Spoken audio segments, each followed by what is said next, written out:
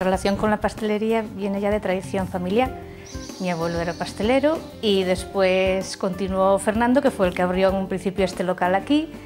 Cuando se casó con Fernanda trabajaron aquí los dos juntos pues varios años y al fallecer él pues Fernanda siguió al pie del negocio estando ya bien preparada y nosotros pues aquí seguimos apoyándola.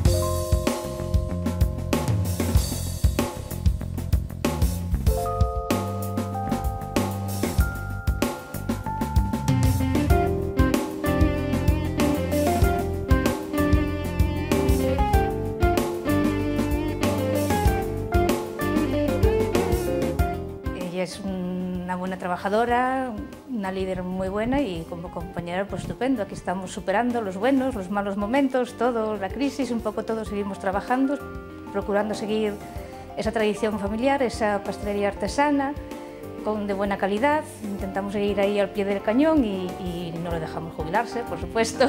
Aquí estamos todas luchando poco a poco y, bueno, con mucha ilusión.